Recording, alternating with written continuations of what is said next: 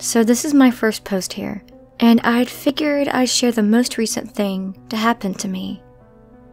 I just moved not too long ago to a house on the other side of the city. I was barely even settled in when this happened. One of the first things I took care of was to get my home security up and running. I'm a very cautious person because of things that have happened in the past, and I don't feel comfortable without cameras and motion detectors. It was the second day in this house, as in actually living here with everything set up. I was at the desk working on my newest Unreal Engine project when I glanced at the monitor for my cameras which showed a man standing in the street in front of my house. He was by my mailbox, and I watched for a minute as he would reach towards my box, then stop like he was hesitating and looked up at my house. I found it odd and decided to go and see what was going on. I wasn't too concerned as I own a 45 and had it with me. But by the time I got out there, which wasn't very long, the guy was gone He'd already crossed the street to the next block and was walking away pretty quickly. I didn't think too much of it. I really figured he had the wrong house or something. Simple like that. I checked the mailbox just because of him being right there, and it was still empty.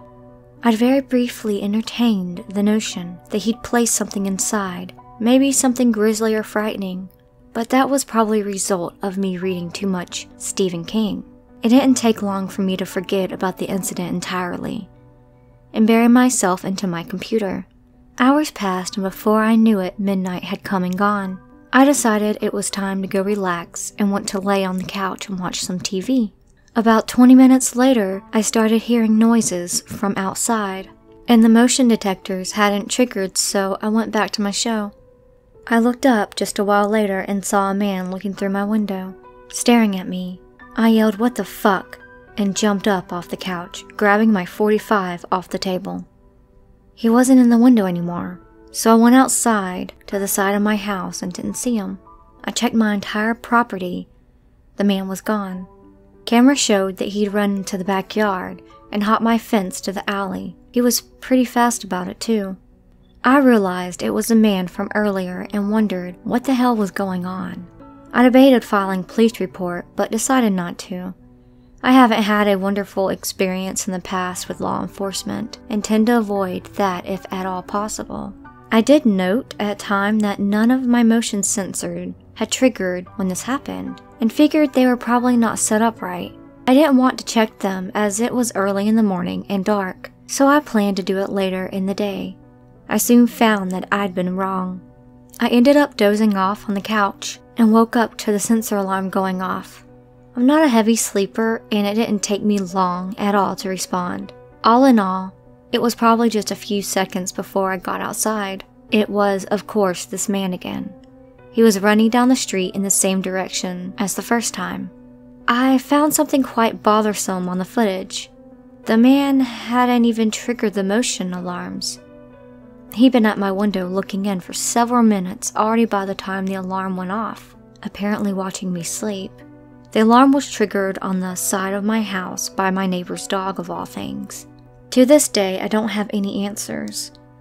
A neighbor of mine saw the footage and thought it was the son of the house's former resident, who has known to be pretty unstable and disturbed.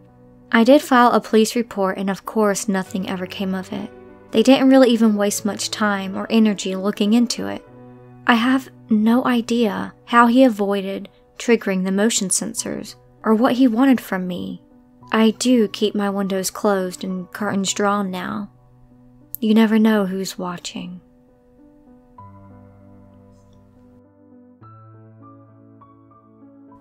Shortly after I graduated, a new shop opened up in the downtown area of my hometown. They sold secondhand antique geeky items, and I would frequent this place so much it had became a regular thing and the owners would recognize me. It was a small one-room store with tables set up having everything from old dime comics to action figures. Every once in a while you could find something really cool and that's how I got into collecting. Time passed and I moved out of town and out of state. But every time I would come back to visit family, I would make sure to stop back to that store, say hello, catch up with the owners, and get at least one thing. After a few visits, I noticed one of the owners was gone. I walk up to the remaining owner, a large man with a long mullet, beard, and overabundance of Hawaiian shirts, and asked him what happened to the other guy. He told me to sit down. I can't remember word for word the exact story, but I can at least recall the major beats, and it went something like this.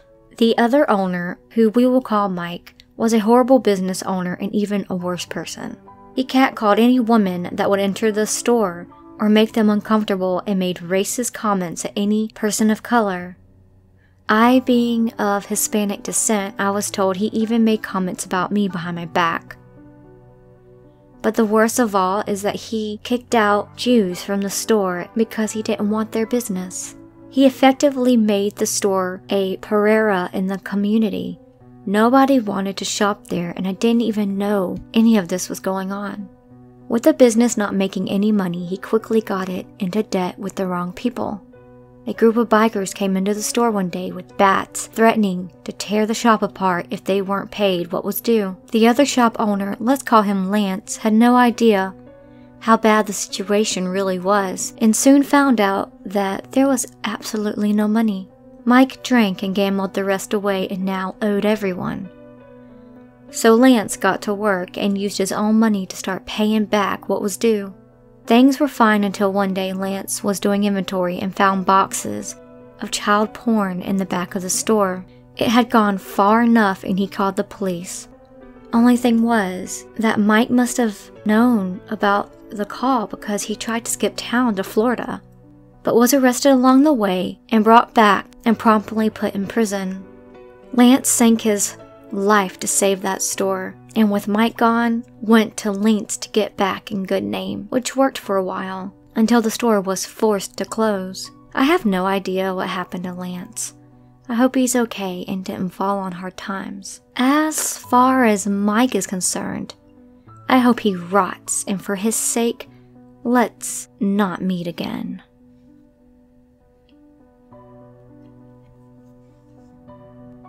I was about 10 at the time this happened. I'm a 23 female now, and even after 13 years, I feel so gross and uneasy thinking about it.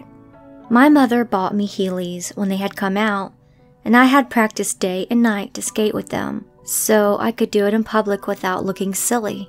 I remember I mastered it and was always so happy to skate around Walmart, getting stuff for my mom and then bringing it back to the cart while she did her shopping a couple aisles down.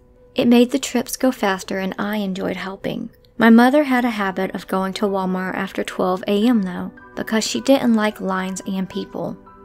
It was always so much more carefree feeling during that time, so I didn't care. I enjoyed being out of the house. This was all very common. I say all this because it was another 1 a.m. trip to Walmart for me and my mom, and since it was so common and so empty, she wasn't at all concerned to watch me or where I went. She knew either I'd find her or, worst case, she'd find me in the video game section. So I'm skating around, just looking at stuff in different aisles, when an employee in the dishes section told me to stop skating in the store. He was a short and chubby older guy. I wasn't one to argue, and I got told that often, so I said okay and walked into another aisle and then skated into the frozen meat section, rolling my eyes. I remember thinking how stupid it was for the employees to be upset when I had bought the Heelys in their store. When I heard some guy behind me yell, Hey! I figured it at first my mother had just turned the corner at the far end of the long aisle and I was focused on catching up. This guy yells, Hey, you kid! I stopped immediately and turned around. This time, it wasn't the heavy-set older guy. It was a younger, skinny guy, maybe in his mid-30s. He had short, greasy black hair and some facial hair as well. He was storming up to me, and immediately my stomach started sinking. Something about him just felt off. Looking back now, he looked like a tweaker. His right eye twitched slightly a few times, and even though he was looking at me, he wasn't looking me in the eye at all. His hand twitched a couple times too, coming up to me, and his face was slightly turned down instead of straight.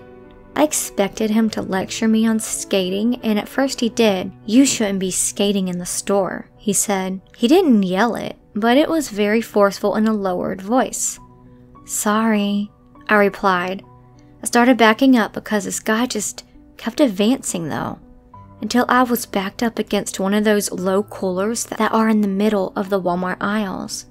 He walked right up to me, literally was on top of me. His whole body was just a couple inches from mine. I got scared and I remember feeling so sick. I remember panicking and hoping my mom turned around. I honestly don't know why I didn't yell for her. I was so scared to be loud at all with him so close. He put his hands on either side of me on the cooler and then still leans in like he's trying to kiss me. I immediately looked away, so his mouth ends up just a couple inches from my ear instead. And he starts quietly talking to me while shifting his weight between feet. It was like he couldn't stand still, or like he was trying to decide if he could get even closer. Why are you skating in here? You know that's bad, right? You're going to get in trouble. All while saying this, the fucking creep is waving his head back and forth like he's still trying to get an angle to kiss me. I just kept abruptly turning my head and looking at the floor. He continues, You should be a good girl. Can you be a good girl for me? Stop skating around here like that. Yeah, sorry. I mumbled, trying to shrink away. He kept talking for a minute or two, and I just tuned him out and kept repeating, Yeah, just willing him to quit having made his point. He then raises one hand like he's going to cut my face, but before he could, he stops and his head snaps up. He looks off at the something behind him and then drops his hand and backs away. He backed up until he was between two side aisles, and I quickly bolted down the aisle. I could feel him watching me as I went, but I never looked back. When I got to the end of the aisle, my mother wasn't there, but an older lady was, and she had been coming up the aisle towards me. I ran past her until I found my mom three aisles away. I never told my mom what happened, but I stayed by her the whole rest of the time. I felt disgusted and scared and was internally freaking out. But I still didn't tell her. I don't know if maybe I thought I'd get in trouble or what, honestly. But I was looking over my shoulder the rest of the time trying to spot him. I never saw him again, not that time or any other time but I never felt comfortable being on that side of the store by myself again. I will say, in a weird twist, it did not deter me from skating in Walmart though. So, creepy pedophile Walmart employee, I hope we never meet again and you get some fucking help.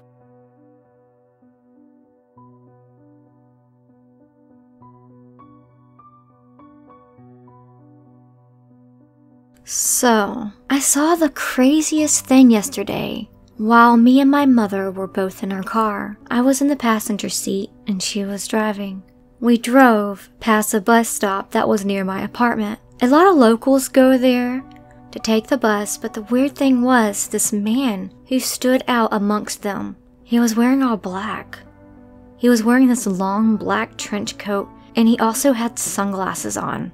The weirdest thing about this man was his necklace. I don't know how to explain it, but his necklace just confused me. It had a hammer on it, and I think the letter W behind the hammer. Or behind the hammer had this zigzag design. He just looked so suspicious and out of place. Also, considering the weather, yeah, it was kinda cold outside, but not enough to wear a full trench coat. I don't know how to describe him. He just looked really creepy and out of place. Like he just didn't belong there at all.